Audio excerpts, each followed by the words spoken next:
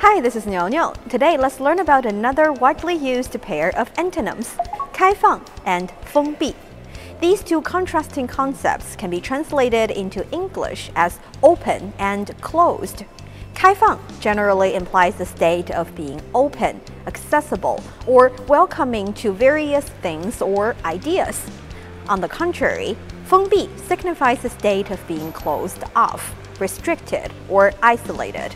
Both words can refer to policies, systems, or attitudes. For instance, 这个路段暂时封闭了，不对车辆开放。This section of the road is temporarily closed and is not open to vehicles. In terms of policies or attitude, we can say 开放是国家进步的前提，封闭必然导致落后。 Openness is a prerequisite for the progress of a country. Closure inevitably leads to backwardness. Just as mentioned above, openness encourages collaboration, innovation, resilience, and growth, while sealing oneself off can limit opportunities, stifle creativity, and lead to isolation. Therefore, whether at an individual or national level, embracing openness and inclusivity can empower one to overcome challenges. Take the Belt and Road Initiative, for example.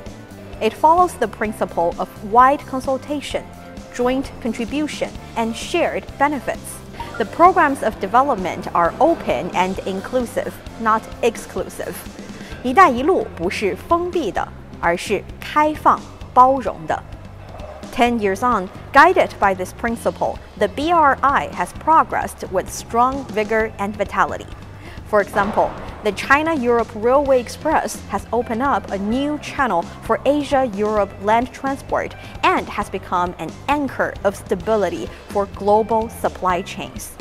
Multilateral financial cooperation institutions such as the Asian Infrastructure Investment Bank, the Silk Road Fund, and the New Development Bank were established one after another to help with shortage of funds for global infrastructure construction in developing countries.